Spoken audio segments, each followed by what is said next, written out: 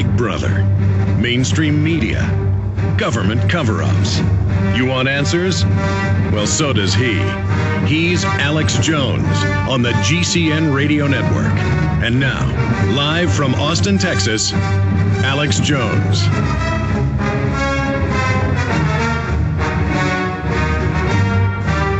Coming up in the next hour, we have a member of the Icelandic parliament who's leading the charge against not letting the British government, through banking fraud, take over their nation. This is economic criminal conquest. They've used anti-terror laws to seize the bank accounts of the entire nation. Uh, this is just unbelievably outrageous. That's coming up. Then Catherine Austin Fitts, the hour after that. We're simulcasting three hours of the four-hour radio show today uh, visually, as we do every day, at prisonplanet.tv for all the prisonplanet.tv viewers out there tuning in. We are simulcasting now. Uh, for the rest of the hour, uh, Tyrel uh, Ventura, son of Jesse Ventura, uh, he's a filmmaker in his own right. Uh, also is involved in a, a lot of other media production. He is an associate producer on the show, did a lot of the research. He's the guy that first primed the pump with his dad four or five years ago about 9-11.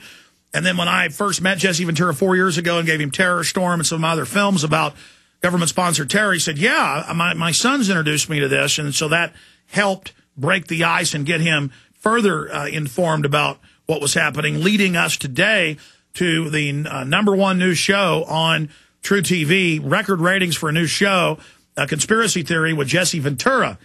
Uh, and so very, very exciting. We'll talk about his favorite last six episodes, this final episode of the first season. Uh, it'll be po internal politics if it doesn't get picked up for an, uh, another uh, even longer season. Again, incredibly successful. Even the major trade publications are reporting that. Record ratings. How did this get on air?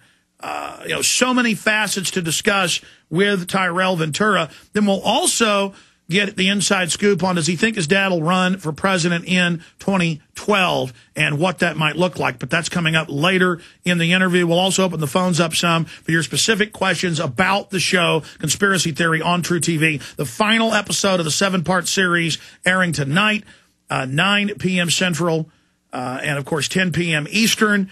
And they always air last week's episode uh, in the hour before. So that'll be 8 o'clock Central, 9 o'clock Eastern if you missed that, uh, the lead-in coming up tonight. We're going to break in a moment, Tyrel, but uh, first off, going to you, it's great to have you with us.